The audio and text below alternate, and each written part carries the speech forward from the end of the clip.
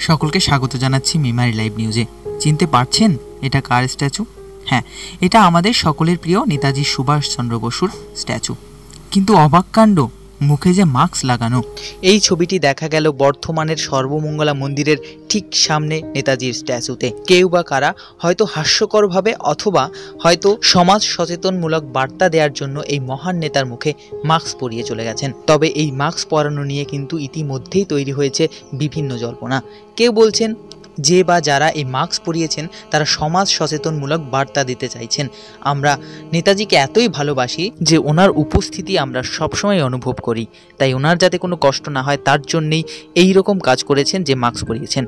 অন্য দিক থেকে বলেছেন কেউ, এটি আমাদের কাছে চরম নিন্দনীয় একটি ঘটনা। যে বা যারা এই মাস্ক পরিয়েছেন, তারা নেতাজিকে রীতিমতো অপমান করেছেন, নেতাজিকে নিয়ে উপহাস করেছেন। চলুন, আমরা মন্তব্যগুলো একবার শুনে নেই। দেখুন, এইটার আমি তীব্র প্রতিবাদ জানাচ্ছি এই কারণেই যে আমাদের উনি একজন স্বাধীনতা সংগ্রামী এবং আমাদের ভারতবর্ষের জন্য উনি অনেক কিছু করেছেন, অনেক কিছু ত্যাগ করেছেন। সেই জায়গা থেকে ওনাকে মাস্ক পরিয়ে মানুষকে কি সচেতনতার বার্তা দিতে চেয়েছেন, যে যিনি পড়িয়েছেন আমি জানি না। তবে আমার মনে হয় যে ওই রকম ধরনের ব্যক্তি বা ওই রকম ধরনের মহান স্বাধীনতা সংগ্রামীর উদ্দেশ্যে ওটা না করলেই ভালো হতো। তবে এখন যেভাবে করোনা ভাইরাস আমাদের রাজ্যে, আমাদের দেশে, আমাদের জেলায়, আমাদের শহরে যেভাবে প্রকট হয়ে এসেছে, সেই অনুযায়ী আমরা মানুষকে সতর্কবার্তা দিচ্ছি। কিন্তু এই কোনো রকম মুনি ঋষি বা কোনো রকম মহান যোদ্ধাদের মুখে মাস্ক পরিয়ে নয়। আমরা যেটা উদ্দেশ্য বলা, যে এই মাস্কটা যদি কোনো একজন গরিব বা দুস্থ পরিবারের হাতে দিয়ে তার তার মুখে পরিয়ে দিত তাহলে সেই মানুষটাকে আমি অভিনন্দন জানাতাম।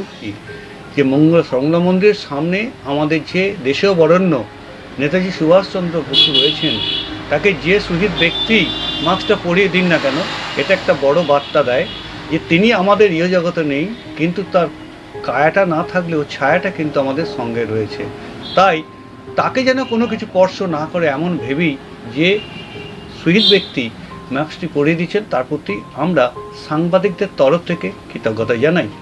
এবং ধরুন মাস্কটা ব্যবহার করুন এই ধরনের ভাইরাসটা যে সারা পৃথিবী ছেয়ে গেছে যেন আমরা বাংলার মানুষ যেন কোনো ক্ষতিগ্রস্ত না হন তার সেই যে আকুতি তার যে আবেদন তাকে সমর্থন না জানান কিন্তু তারকে তার এই ভাবনাটাকে শ্রদ্ধা জানিয়ে অন্তত মাস্কটা ব্যবহার করুন বাড়ির বাইরে বেরোলেই এবং বাড়িতে থাকলে মাস্কটা ব্যবহার করুন।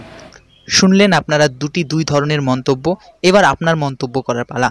নেতাজির মূর্তিতে এই যে মাস্ক পরানো হলো, এটিকে আপনি কোন চোখে দেখছেন অবশ্যই আমাদের জানাবেন। সব ধরনের খবর সবার আগে পেতে মেমারি লাইভ নিউজের সঙ্গে থাকুন। নমস্কার।